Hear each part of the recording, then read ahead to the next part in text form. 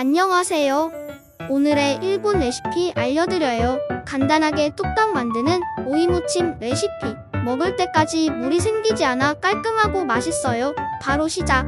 오이 2개, 양파 반 개, 고춧가루 1스푼, 다진 마늘 1스푼, 진간장 1스푼, 식초 4스푼, 통깨 1스푼과 설탕 1스푼을 준비해주세요.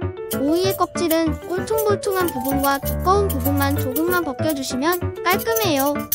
얼마 전까진 오이를 어슷썰기로 썰었는데 아는 요리사 선생님이 알려주신 연필깎이 썰기로 썰었더니 물도 덜 나오고 아삭아삭하고 좋았어요. 해보세요. 추천드려요. 붉은 소금 한 티스푼을 넣고 10분간 절여주면 간이 배이고 물기도 빠져요.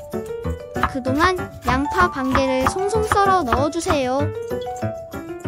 진간장 한 스푼, 매실액기스 한 스푼, 다진 마늘 한 스푼, 고춧가루 한 스푼, 통깨 한 스푼, 식초 4스푼을 넣어주고 마무리로 설탕 한 스푼을 넣어주고 버무려주세요.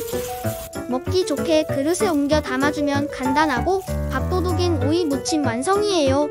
유익하셨다면 구독과 좋아요 부탁드려요. 맛있게 드시고 건강하세요.